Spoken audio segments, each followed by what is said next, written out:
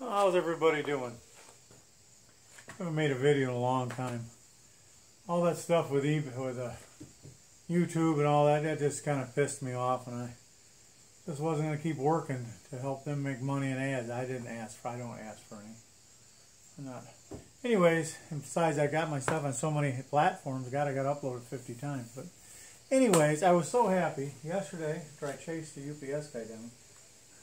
I got my Kimber 9 millimeter 1911 back. I had bought it only a week ago, so I mean they got the turnaround pretty darn good. And he wouldn't hold a magazine. The magazine would just fall out at all. There was something wrong with the uh, the release, and I wasn't going to screw with a brand new gun, so I just called him up, sent it, talked to the guy. Goes, how long have you had it? Real nice guy on the phone. I've never had as nice customer service as I had from Kimber in my life. And this is the first Kimber I ever had. And I told the guy, he goes, oh, about 15 minutes. I goes, I'm lucky enough to have a range behind my house, which I'm in the barn shooting because it's been raining today. And I finished my paperwork, and I just I wanted to see how to work on my suppressor. This is a, a Griffin Revolution 45 caliber can. It works great on my 45 uh, 1911, but I you know, they come with a piston for 9 millimeter, right? Well, then I had to, I just had to have a 9 millimeter to work with it. And I love 1911s. I just do. But finding one threaded was not easy.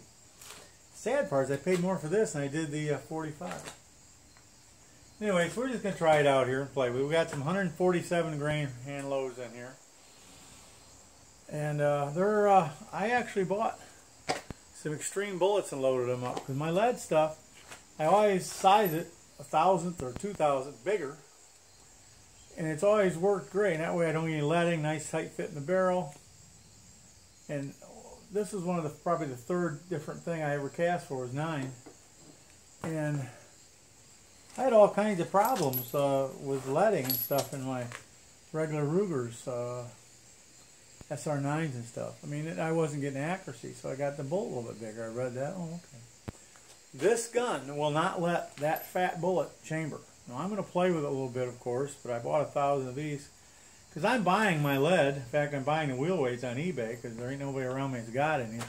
No matter what mix I do, I find if I put one or two ingots of wheel weights in there, you get the arsenic and stuff. It just it just works better, and I can't tell you exactly why, because I'm using linotype and regular lead and I even got some super hard, but I get a much better fill with just a little bit of wheel weight. So I'm every month I try to buy a little bit off eBay and stockpile it so I'll have it.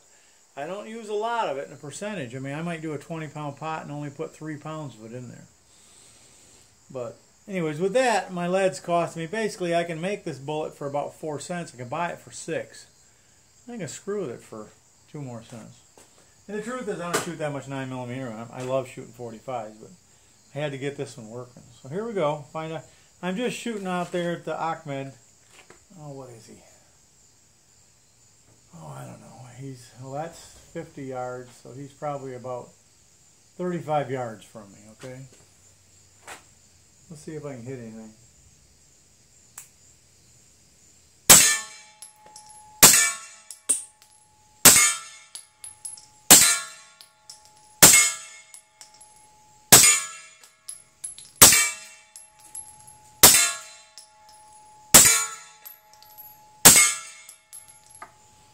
Hey, that magazine went through just flawlessly. I love it. And they don't give away those Kimber mags either. To buy another on eBay. One, thing you have to notice when you're shooting a suppressor on a handgun, you gotta tighten that bag boy just a little bit between each mag. And do that with the rifles. See if I can hit him again. Missed.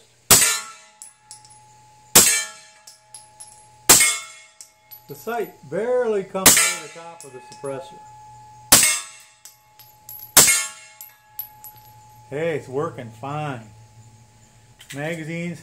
when I first bought you put the mag up in there, right? And it's snug, so it didn't fall out until you racked around, and the magazine fell on the ground. Like, what the hell? I told the guy, yeah, it's a really accurate single shot.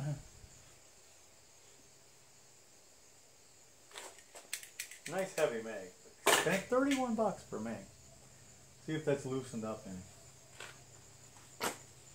Yep, you see, I mean, that just takes a little tweak, but they, the silencer shop gives you some of these. You need them. It's putting your little patty on that thing. I wouldn't, I don't know, I wouldn't want to grab it tight enough to turn it. It's warm. Now I put four mags through. I put two through it. Worked so good. I was like, ah, I'm gonna do a video. I haven't done a video in forever. Had somebody say, and I have, and I've been busy with a garden, and uh, well, I was dealing with some health issues. I don't know if you can tell on the camera or not, but I've lost over 70 pounds, and uh, so I'm working on getting healthier, which is great. I can do things again. Building a greenhouse. Guy's supposed to be coming out the end of the month to redo my range. We're gonna we're gonna dig down four feet in front of the range, look kind of like a dock well.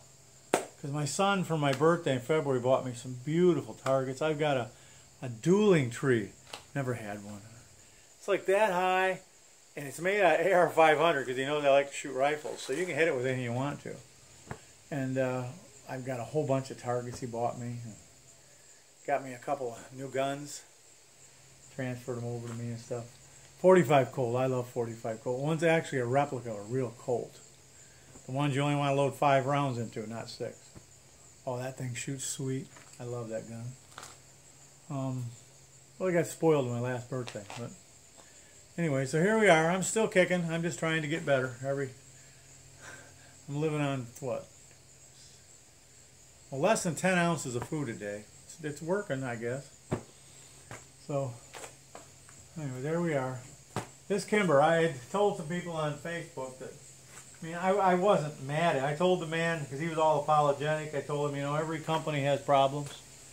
And the real measure of a company is not whether they have a problem or not, it's how they take care of the problem. And I got to tell you, I got this. He told me it'd be three weeks. I got it back in a week. And I told him, I hopefully it was just something simple.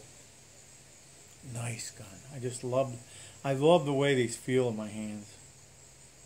I know they have a 10 millimeter 1911 out there, but I mean, I have the dies and stuff because I help load for a friend, but never done much with 10. I got nothing against it. I just never got, I don't have a gun that shoots it. I like this gun. Can't wait till I can play with the dueling tree of this. This would be a ball. You know, I shoot it more without without the suppressor than I do with it. I mean, it's quiet without, but the steel makes, you hear the steel makes a lot of noise, more noise than the gun does. I run this Griffin in the full configuration. You can actually adjust, and I did it, put it in what they call the K configuration, which is a little bit shorter, but you take out three baffles. Well, what the hell's the point of buying a suppressor and taking baffles I don't know, I guess. Found a new range I'm going to go to. I won't take any video there because that just looks stupid. But um, it's a state park. It's about 25 miles from me. It's, it's, it's wonderful. Can't shoot steel there. And they only let you load six rounds in your in, in your mag at a time, which not a big deal.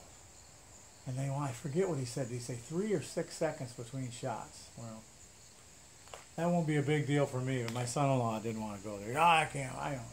He likes the rapid fire, which is another reason I want to put that higher range.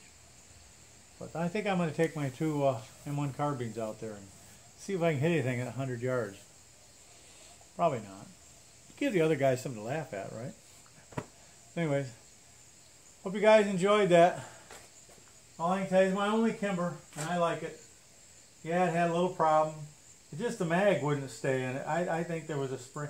Yeah, I can tell you, because you see that? That wouldn't spring up before at all. I don't know if you guys can see that or not. Right there, right in front of my thumb was. So it was just, it had it. They said in their paperwork they'd replaced a part and the magazine release. So everything made can be screwed up. But the gun was accurate the first time I shot it.